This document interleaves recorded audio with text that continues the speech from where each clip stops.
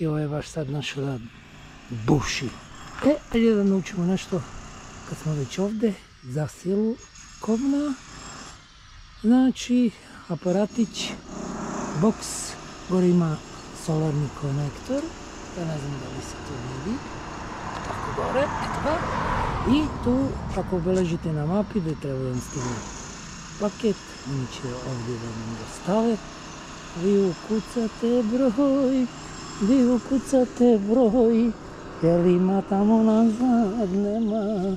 E, ne znam kako to baš radi, ali preko mobilnog telefona nešto tako. I ovom se da ovaj QR kod i on ima se otvori tamo gdje je vaša pošiljka. Dakle, za kovna. E, jako pametna stvar. Ne znam još koliko imam bateriju na ovoj kameri, tako da snimam samo ono što je zanimljivo. Aj, čao!